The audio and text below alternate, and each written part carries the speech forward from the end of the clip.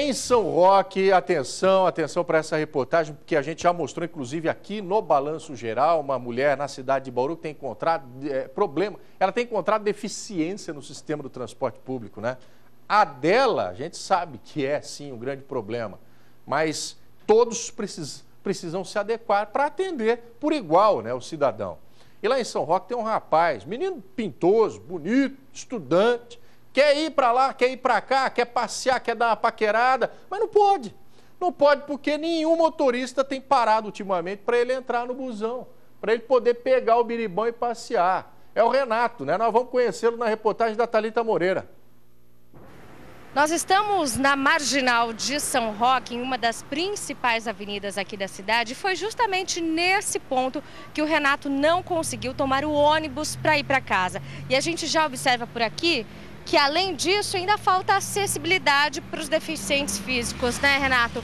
Conta pra gente como é que foi essa história. Você estava indo para casa, chegou aqui, precisa da ajuda de alguém para subir na calçada e o ônibus não parou. Não, é, eu saí do treino de jiu-jitsu. A caminho daqui já realmente já não tem acesso, já para acessibilidade para subir, né, pra, no ponto de ônibus. E necessito de ajuda de alguém para subir. Subindo já aqui em cima, esperei uns 20 minutos. O ônibus que deveria passar, que é de cadeirante adaptado, ele não passou. esperei outro, normal. E isso demorou quanto tempo? Um, mais uns 15 minutos. Quando o motorista parou para pegar outros passageiros, eu pedi ajuda ao motorista, o motorista me ajudar a subir no ônibus. E ele se recusou, ele falou que não podia sair do lugar. E é só que a obrigação dele é me ajudar a subir.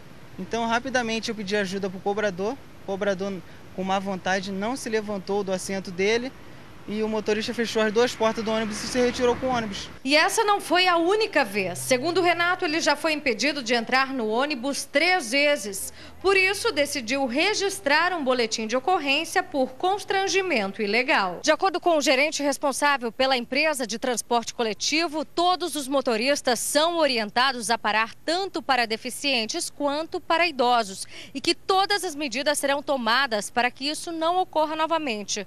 Agora, a polícia quer ouvir as partes envolvidas para definir se haverá ou não autuação.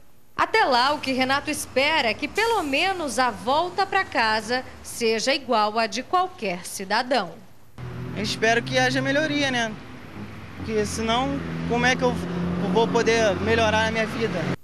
É, o que eu quero falar a respeito desse problema é o seguinte: nós entendemos que nem todos os veículos do transporte coletivo, não só lá em São Roque, mas em todas as cidades, nem todos estão já adaptados para fazer o transporte do cadeirante, da pessoa que anda de muletas, do senhor de idade, da senhorinha de idade.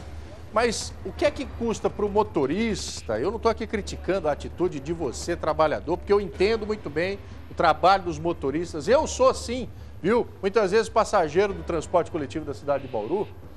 É, não custa nada, né, seu motorista? Parar ali ó, e explicar, ô Renato, não vai dar para eu te levar, bicho. Esse ônibus aqui não é adaptado. Mas já está vindo um aí atrás, espera só um pouquinho. Uma justificativa, uma explicaçãozinha. A gentileza não faz mal, aliás, ela só faz bem. Então vamos praticar um pouco mais de gentileza, gente.